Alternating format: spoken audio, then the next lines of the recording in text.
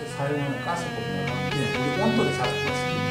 아, 예, 예. 예, 그래서 저희는 저장식이라고 해가지고 예를 들어서 어, 구라파에서 들어오는 보일러가 주, 주전자에 물을 데워가 보일러를 하면요. 예, 예. 저희는 가마솥에 물을 데워서 난방하는 그런 형태입니다. 예. 그래서 이제 구라파는 입식 난방이기 때문에 캠포인 유니트가 다지에달 높기 때문에 예, 예. 그 방에 들어가는 물이 작습니다. 예. 저희는 온돌방에 온돌. 알고 속에 물이 엄청 많기 때문에 그렇죠. 그게 순간식이라고 그래가지고 순간이지? 당시. 동파이프에 여기 잔날개를 붙여가지고 예, 예. 가스 불을 떼면 물이 통과하는 순간 데워지는 겁니다. 그래서 아. 순간식 보일러라고 그러고 예, 저희는 이만한 통에다가 예. 물을 넣고 밑에서 불어 떼가 예. 데우는 거니까 이 저장식입니다. 근데 왜 그걸 했어요? 온돌이 좋을 것 같아요. 저장식이라야 온돌에 맞습니다. 아니 근데 대기업들은 온돌식으로 하면 더 좋을 것 어, 같은데. 특허 때문에 못했죠. 아, 예. 특허 때문에. 예, 지금도 아무도 못하는 데서 특허 때문에. 아, 예. 끝, 예. 그, 끝 때문에. 예, 예, 아, 예, 예. 아. 기사에서 우리 보일러를 1차 수입하고 예. 3년 후에 에, 넉다운제를 받고 예, 예. 예?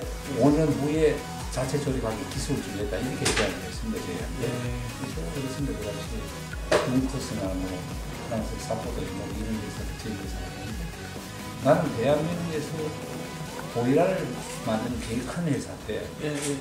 우리가 보일러를 수입한다는 건 자존심 상해서 안 된다고 그랬습니다 아, 예. 예. 그래서 그 사람들이 다 LG로 가고 다 삼성으로 찾아가서 이용이 되고 예. 되게 예. 잘 돼가지고 예, 예. 1년에 간불을 하는 나무가 엄청 많습니다. 예, 예. 이게 뭐 농촌에 가면 막 지천에 깔려 있는 게 폐목들입니다. 예, 예, 예. 그래서 저걸 사용하면 어, 농촌에 연료비를 안 들이고 사용할 수 있다고 해서 제가 파목보이를 처음 만들었습니다. 언제 만드신 거예요? 음, 한 15년, 아니, 좀 지났네. 15년 전에 만들어서 맨 처음엔 다목적 보이라고 그래가지고 예. 이걸 이제 화목을 떼다가 화목을 떼면 이제 밤에 화목을 넣을 수 없지 않습니까? 예, 예. 이제 저녁에 그렇죠, 그렇죠. 예, 예.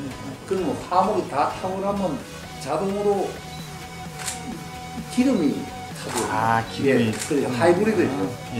예, 하이브리드 보일러를 제가 처음 만들었습니다. 아. 그건 전 세계 처음입니다.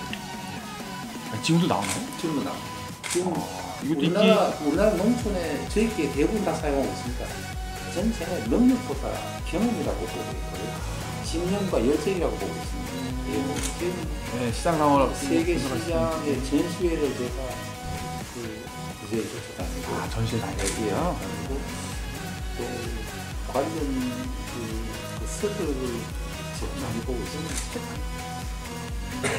평생은 새벽 3시에 일어납니다. 아, 네, 새벽 3시에 일하신다는, 예, 기도하신다는 말씀. 그래서 한 2시간 정도 이제 책을 보는데 그 기술 서적을 보고 기술서 보시는군요. 요새도 계속, 예. 지금 1년이면 몇번 많이 보시겠는데요? 한 100만 원씩